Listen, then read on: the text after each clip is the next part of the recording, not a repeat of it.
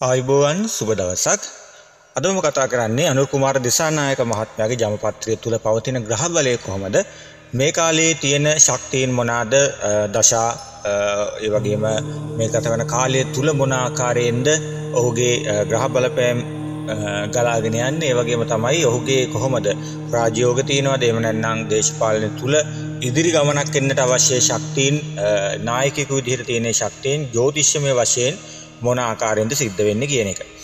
ඒ වගේම මුලින්ම කියන්න ඕනේ මේක මම පුළුවන් තරම්ම මධ්‍යස්ත විදිහට ඉදිරිපත් කරනවා ජ්‍යොතිෂ විග්‍රහයක් විදිහට.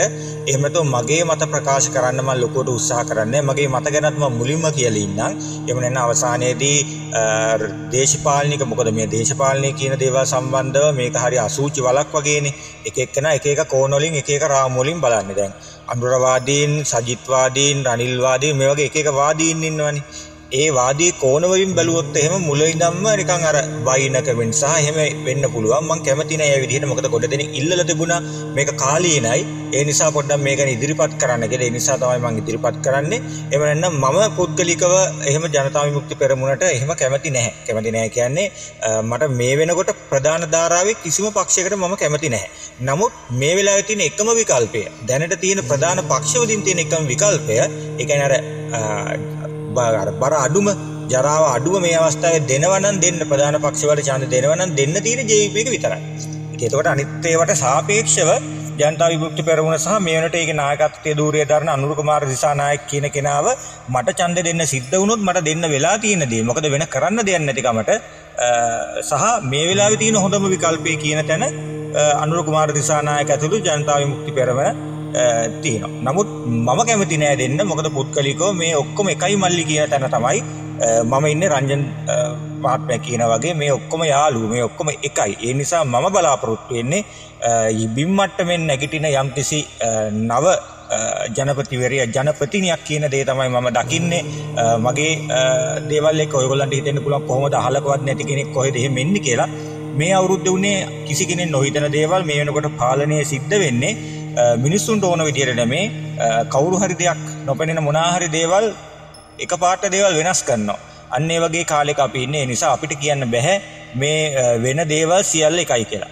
අනිත් එක තමයි මේ වෙනකොට අර පාට කණ්ණාඩි ගලවන තරමට විශ්ව විසින් පුකට පයින් ගහලා තියෙන වෙලාවක මිනිස්සුන්ට මිනිස්සු තාමත් සාම්ප්‍රදායික දේශපාලන පක්ෂ මත පදනම් වෙනවා නම් ඒවට පමණයි අපේ රට ගොඩනැගිය හැක්කේ කියන තැන ඉන්නවා නම් තාමත් මිනිස්සුන්ට හිතන්න එනවා තමන්ගේ චින්තනය තමන් තාමත් කොච්චර වහල්ද කියන එක ගැන. පොඩි කාලේ නම් අපේ ගෙවල් වල ඉඳියේ එක්සත් ජාතික පක්ෂ කියන එක තමයි අපේ තාත්තලගේ දේශපාලනය වුණේ. පොඩි කාලේ අපි දැකපු දේශපාලනයේත් ඒක නිසා අපි කතිර ගැහුව මුල් කාලේ UMP එකට. පස්සේ මේ අවසාන කාලේ වෙනකොට දේශපාලන වශයෙන් සහ සමාජීය වශයෙන් බුද්ධිය මෝරනකොට මේ එක දේශපාලන පක්ෂයක්වත් මේ රට හදන්න නෙමේ Taman හැදෙන්නයි වැඩ කළේ කියන දේ අවබෝධ වුණාම දැන් ඉන්නේ දෙන්න කෙනෙක් නැතුව. ඉතින් අර ඡන්දේ කාට හරි පාවිච්චි කරන්න ඕන නිසා වෙන කිසිම පක්ෂයක් මේ කාලේදී මේ ජනාධිපතිවරණය හෝ ඒකකට ඉදිරිපත් නොවුනොත් වෙන දෙන්න විකල්පයක් නැතුව මම JVP එකට දෙනවා. ඒ දෙන්නේ අපරාධ නැත්නම් ඡන්දේ නිසා. එහෙම නැත්නම් මං කැමති නෑ මේ පක්ෂයට කැමති නෑ දැනට පවතින එකම එකටවත් කැමති නෑ හේතුව මේ එකෙටවත් මේ රට හදන්න බෑ කියන එක මම පිළිගන්නවා සහ මම මේ වෙනකොට වෙන දේවල් එක්ක සාම්ප්‍රදායික දේශපාලනයේ සාම්ප්‍රදායික පක්ෂ දේශපාලන කඩේ යනවා කියන එක මගහැරලා සහ අතහැරලා ඉන්නේ. නිසා මොනා හරි මට වැඩක් නැහැ දේශපාලනය කරපු අයද අලුත් කෙනෙක්ද පරණ කෙනෙක්ද හරි ප්‍රතිපත්ති වලින් අලුත් කෙනෙක් හෝ අලුත් පක්ෂ හෝ කවුරු හරි නැගිටිනවා නම් මේ වෙනකොට ඒ ඔවුන්ගේ දෙස බලලා ඡන්දෙ දීමේ හැකියාවක් ස්වාධීනත්වයක් මාගාව තියෙනවා පුළුවන් නම් ඔයගොල්ලොත් අන්න ඒක හදාගන්න කියන දේ මතක් කරමින් මේ ජමපත්‍රයට හැරෙන්නම් ජමපත්‍රය තුල පෙන්වන කරුණු කාරණා ගැන මතක් කරන්නට. හොඳයි 1968 නොවැම්බර් 24 වෙනිදා ධනු ලග්නෙන් තමයි අනුකුමාර මහත්මයා උපදින්නේ.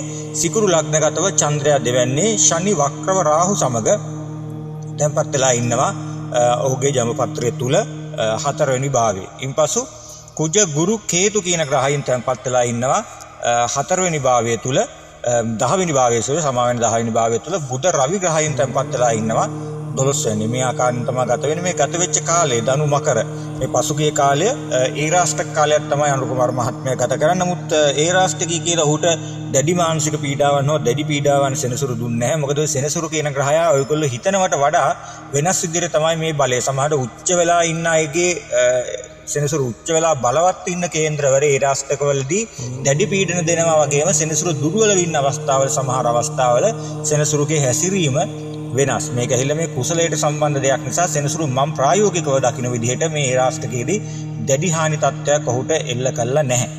යම් මට්ටමකට තමන්ගේ පුද්ගලික ජීවිතෙත් එක්කෙනකොට යම් යම් පීඩා එන්නේ නැති. නමුත් සමස්තයක් විදිහට එළියෙන් බලනකොට මේ රාෂ්ට්‍රකේ ඔහුට එහෙම දරුණු ප්‍රතිඵලයක් දුන්නේ නැහැ. ඒ නිසා සෙනසුරු ඉන්නේ එහෙම නරක විදිහකට නෙමෙයි කියන දේ තමයි මේ තුල කියන්නේ. මොකද ගොඩක් අය බලන්නේ සෙනසුරු ඕසා ඕනම ග්‍රහයෙක් ඔයගොල්ලෝ චාට් එකට දානවනේ උච්ච නීච සමසතුරු ඒ චාට් එකෙන් තමයි ග්‍රහයෙක්ගේ තත්ත්ව තීරණය කරන්නේ. එහෙම ග්‍රහයෙක්ගේ තත්ත්ව තීරණය කරන්න බෑ.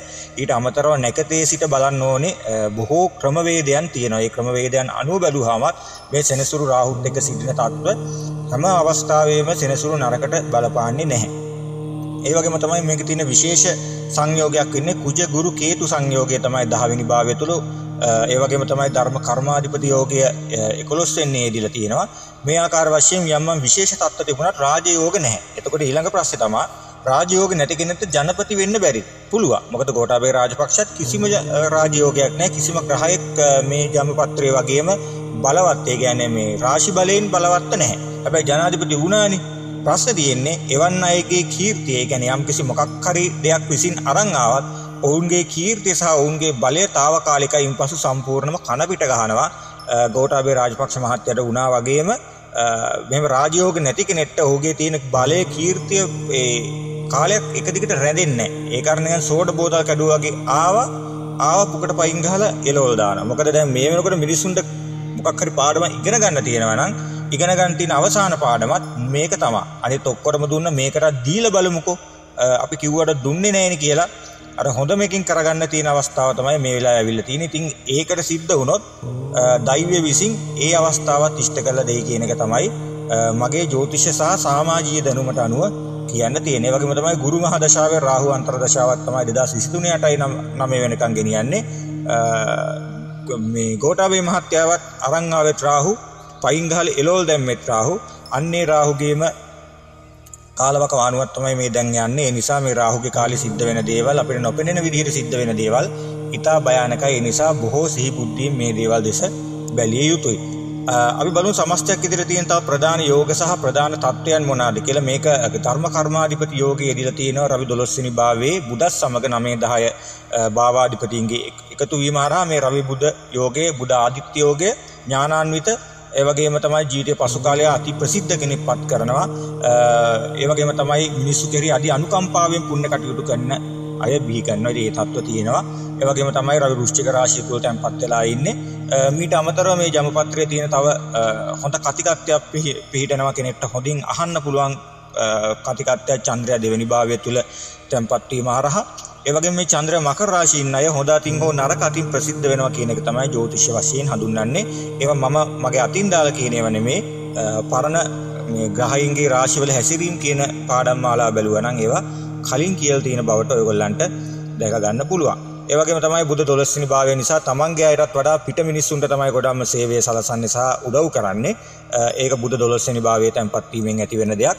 ඒ වගේම පිටරට ගමන්නේදී නිසා වියදම් අධික තත්ත්වයන් පෙන්눔 කරනවා වගේම බුදු වෘශ්චික රාශිය තුල තැන්පත් අයගේ සිතේ තරම් යහපත් නැහැ සහ කෙනෙකු ඇත්ත කීවත් බොරු ලෙස පිළිගන්නේ ටිකක් පිරිසිදු සිතක් ඇති කර ගැනීම අපහසුයි කියන එක තමයි ජ්‍යොතිෂය තුල සඳහන් කරලා තියෙන එක කොච්චර දුර ඇත්තද නැත්තද කියන එක ඔයගොල්ලෝ ඔයගොල්ලන්ට සාපේක්ෂ රාමු තුලින් බලන්න මම ඒවා මගේ විදිහට අර්ථකථනය කරන්න යන්නේ නැහැ.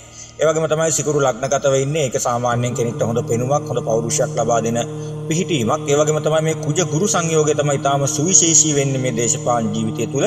මොකද කුජ ගුරු සංයෝගය කියන්නේ කිසිවෙකුට පසු නොබසින ඉදිරියට යන ගතියක් ඇති කරන තද නිදහස් මතධාරියෙකු බිහි කරන පිහිටීමක් වගේම උසස් ගතිගුණ හා චිත්ත බලය තියෙන ඉගෙනීම් කටයුතු සහ ඕනම දෙයක් විනිවිද පේන නුවණක් තියෙන එඩිතර කරුණු ඔප්පු කරලා කතා කරන්න පුළුවන් හැකියාව බිහි කරන යෝගයක් වගේම තියුණු ක්‍රියාශූරත්වයක් ඉබේම පිහිටන ඒ වගේම න්‍යාය ශාස්ත්‍රඥයා නීතිඥවරු තර්ක ශාස්ත්‍රඥයෝ වගේ බිහි කරන විශේෂ යෝගයක් සාමාන්‍ය දැනීම අතින් මේ වගේ කෙනෙක් එක්ක වාද කරලා දිනන්න උගත් පඬිත කෙනෙක්ටවත් බෑ. ඉතින් ඒක හොඳ ආකාරව ඔප්පු වෙලා තියෙනවා. එතුමන්ගේ තියෙන වාග් විලාසය සහ කරුණු කාරණා ඔප්පු කිරීම කියන කාරණයට සිද්ධ වෙන ප්‍රධාන දේවල් මේ කුජ ගුරුගේ සංයෝගය තමක තමයි ඇවිල්ලා තියෙන්නේ. අනිත් එක මේ ගත කරන්නෙත් ඔහු ගුරුගේ මහදශා කාලය තව ස්වල්ප දවසකින් සෙනසුරු මහදශාවට ඒක මාරු වෙනවා. ඒ වගේම කුජ 10 වෙනි භාවය තුල තැන්පත් වෙලා ඉන්නේ. එවන් අය ඊට ටික ආඩම්බර ගතිත් එක්ක ධෛර්ය ක්‍රියාශූරත්වයේ තියෙන ප්‍රධානත්වයේ කරා දිවාරය මහන්සිලා නගින හොඳ නායකත්ව ලක්ෂණ තියෙන අය විදිහට තමයි හඳුන්වන්න පුළුවන්. ඒ සියලුම ලක්ෂණ හොඳින් පිහිටනවා. ඒ වගේම තමයි කුජ කන්‍යා රාශිය තුල තැන්පත් වෙලා ඉන්නේ ගුරු දහවෙනි භාවය තුළදී මේක බොහොම යහපත් පිහිටීමක් මේ ගුරු කුජ කේතු කියන සංයෝගය තමයි ත්‍රිග්‍රහ සංයෝගය තමයි බොහෝ දුරට මෙතුමන්ට තියෙන මේ විශේෂ හැකියාවන් ටික ලබා දීලා තියෙන්නේ කරුණු කාරණා ඔප්පු කරලා කතා කරමින් මිනිසුන්ගේ හිත් දිනා ගන්න විදිහට මේ කතා කරන්න තියෙන ඒ සුවිශේෂී හැකියාව. ඉතින් මම දකින දේශපාලන ජීවිතයේ ඉහළට අරන් ගිය සුවිශේෂීම தත්ත්වය මේක. එතනින් එහාට තවදුරටත් අපි බැලුවොත් එහෙම මොන ආකාරයෙන්ද තවත් තත්ත්ව පවතින්නේ කියන දේ ගැන මේ ශනිගේ දශාව තමයි ඊළඟට 2023න් පස්සේ ලබන්නේ. සෙනසුරු රාහුස් සමග තැන්පත් වෙලා ඉන්නවා යම් දුර්වල තත්ත්වයක් තුල මේ තුලදී ඉදිරි කාලයේ සෙනසුරුගේ කාලය ඔහුට තරම්ම හොඳ තත්ත්වයන් මට පෙන්눔 කරන්නේ මානසික කලකිරුණු ස්වභාවයන් 2024 වර්ෂයෙන් පස්සේ ඇති කරනවා යම්කිසි හේතුවක් මත. සෙනසුරු ග්‍රහයා විසින් බලයකට අරන් ආවත් වැඩි කාලයකට ඒ බලය පවත්වන්න නැති ලක්ෂණයක් තමයි පවතින්නේ. කෙසේ නමුත් මගේ ප්‍රෙඩික්ෂන් සියල්ල සත්‍ය වෙලා මේවා මෙහෙම වෙන්න ඕනේ ඔහුට මේ රට හදන්න පුළුවන් තත්ත්වයක් මොන විදියෙන් හරි සකස් වෙනවා නම් මේ දේවල් වෙනස් වෙලා මේවා වැරදිලා හරි මේ රට හදන්න පුළුවන් හොඳම කෙනෙක්ට මේක පත් වෙනවා කියේ පත් වෙන්න කියන එක තමයි මගේ එකම ප්‍රාර්ථනය. ඉතින් ඒක සිද්ධ වෙන්න ඕනේ. මොකද අපි මේ ඉන්න රටේ අපිට දේශපාලන පක්ෂ ભેද වැඩක් නැහැ. වෙන්න ඕනේ කවුරු හරි පුළුවන් සුදුස්සෙක් එන්න. මගේ රාමුව ඔබේ රාමුව විය යුතු නැහැ. මම දකින කෝණය ඔබේ කෝණය විය යුතු නැහැ. මම හරි කියන දේ ඔබ හරි කියන්න අවශ්‍යතාවයකුත් නැහැ. ඔබේ බුද්ධියෙන් ඔබ සියල්ලම සිටිය යුතුයි.